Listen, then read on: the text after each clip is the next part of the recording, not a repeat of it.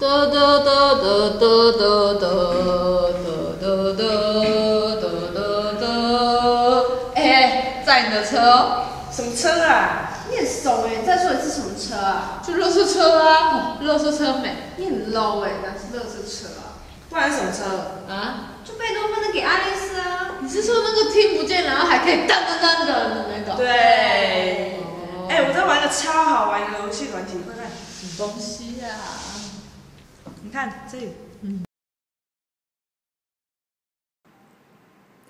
幼童的超级贝多芬 Go，先开始动画，欣赏贝多芬的故事。一七七零年十二月十七日，贝多芬在德国莱茵河畔的波昂市出生，家境清寒贫穷。贝多芬的生活刻苦，也一生都没有结婚，耗尽了贝多芬剩余的精力。之后一连串的疾病使他的健康状况越来越不好。最后一部作品在一八二七年三月二十六日完成。贝多芬也享年五十七岁，病逝于维也纳。这就是贝多芬精彩的一生。看完动画，我们接着开始游戏吧。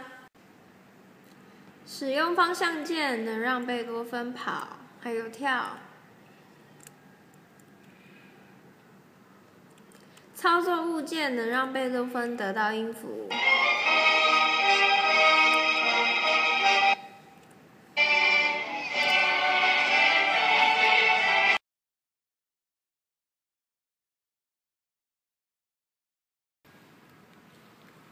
我们可以使用零一二三四五弹出美妙的音乐。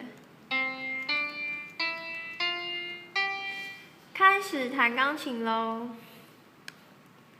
我们现在要弹奏的曲子是贝多芬的《快乐颂》，然后按照字面上的字卡弹出正确的声音。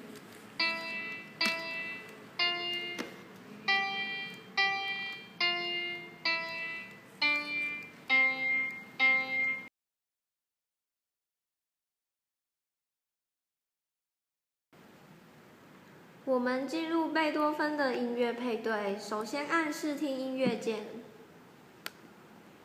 点选左边的播放钮，试听每一首曲子。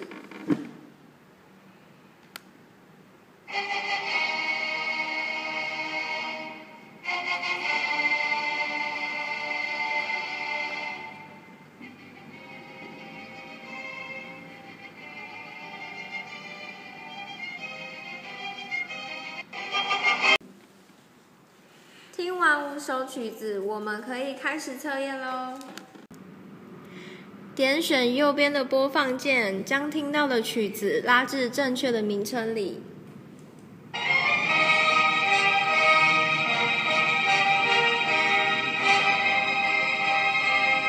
如果错误的话，就无法成功放上哦。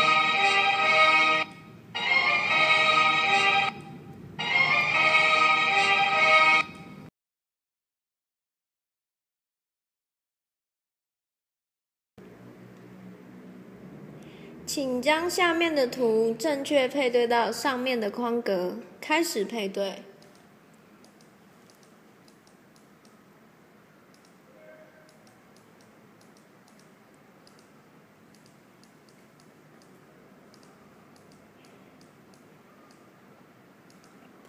配对完成。